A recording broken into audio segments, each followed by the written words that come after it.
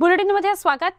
पुणे महानगरपालिकेच्या कार्यालय परिसरात माजी खासदार सोमय्या यांना करण्यात आलेल्या धक्काबुक्कीच्या मुद्द्यावर भाजपच्या शिष्टमंडळानं केंद्रीय गृहसचिवांची आज भेट घेतली. या शिष्टमंडळामध्ये मनोज कोटक गिरीश बापट रक्षा खडसे आणि गोपाळ शेट्टींचा समावेश आहे. झेड सुरक्षा असतानाही हल्ला झाला. पोलीस आयुक्तांची चौकशी व्हायला पाहिजे अशी मागणी यावेळी करण्यात आली कारण पोलिसांनी कुठलीही कारवाई केली नाही असं म्हणणं आहे. किरीट सोमय्या यांचं.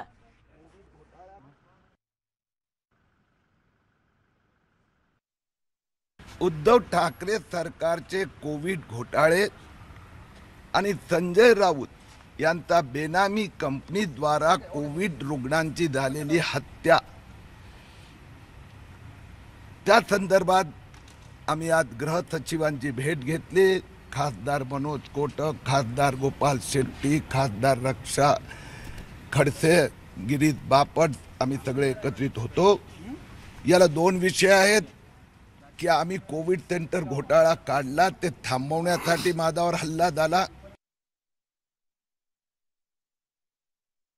कोविड घोटाळ्यासंदर्भात केलेली तक्रार आणि त्याची पुढे चौकशी होऊ नये त्यासाठी पुणे म्युन्सिपल कॉर्पोरेशनच्या आवारात किरीट सोमयांवरती जो हल्ला झाला त्या हल्ल्यासंदर्भात जे लॅप्सिस पुणे पोलीस कमिशनरकडून झाले ज्या पद्धतीची झेड सिक्युरिटी त्यांना प्राप्त आहे त्या पद्धतीच्या सिक्युरिटीमध्ये लोकल पोलिसांची एक भूमिका असते.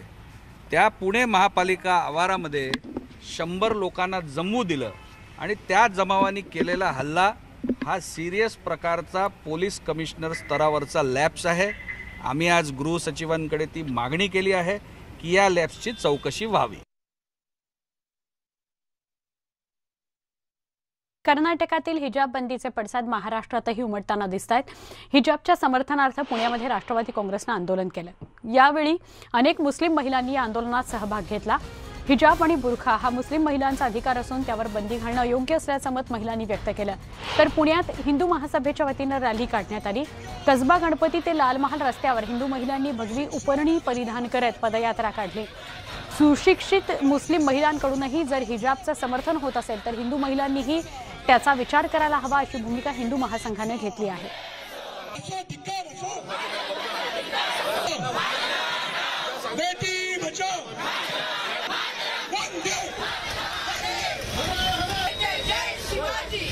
ही दोन दृश्य एका बाजूला आम्ही तुम्हाला दाखवतोय. पुण्यातलीच ही दोन्ही दृश्य आहेत.